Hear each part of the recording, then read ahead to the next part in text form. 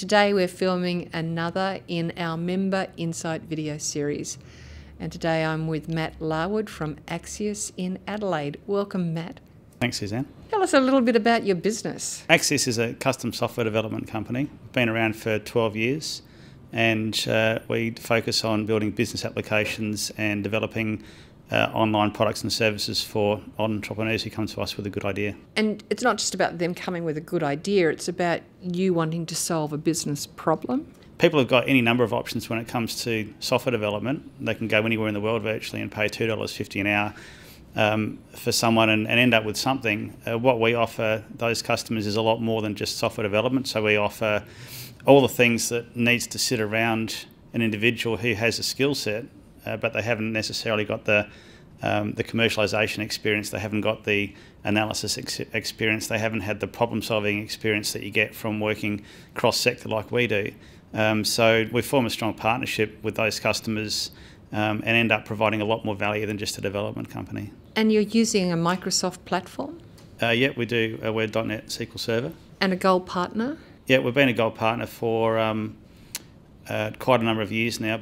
What, from your perspective, is the value of being part of that partner network with Microsoft? Uh, I think there's a number of levels. Um, so, for example, we get access to the latest technology uh, that's a stable technology. It's not flavour of the month. It's it's consistent and robust, and um, it fits in with the model that we uh, propose to our customers: flexible, scalable. Uh, we also get the support of um, the whole of the Microsoft community, and locally, Brian Keeley, who's the state director for Microsoft in Adelaide, uh, is incredibly accessible, um, and uh, we're in the process of uh, looking to develop a closer relationship um, with Brian uh, so we can help him promote his business and he can help us grow our business as well. What, what, what does being on the council mean for you at Axios?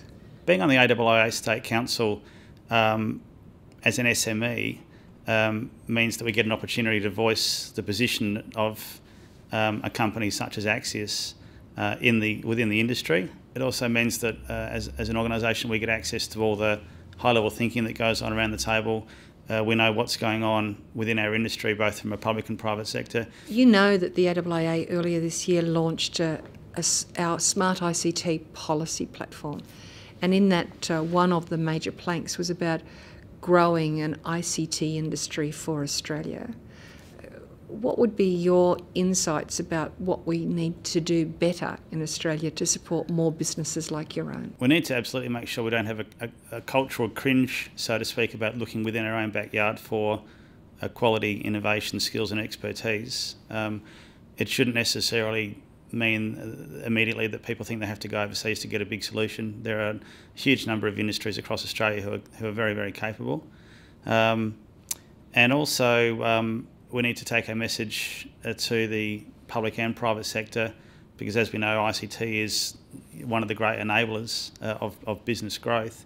And um, we can grow the pie by making our industry itself, I guess, more accessible, more in tune with what's going on. Um, and by growing the pie, that means that there's a bigger market share for all of us. Fantastic. Matt, thank you for the insight into your business into what you're doing uh, in relation to your partnership arrangements with Microsoft and also the opportunity for growing the SME sector. Thank you very much. No worries, thank you.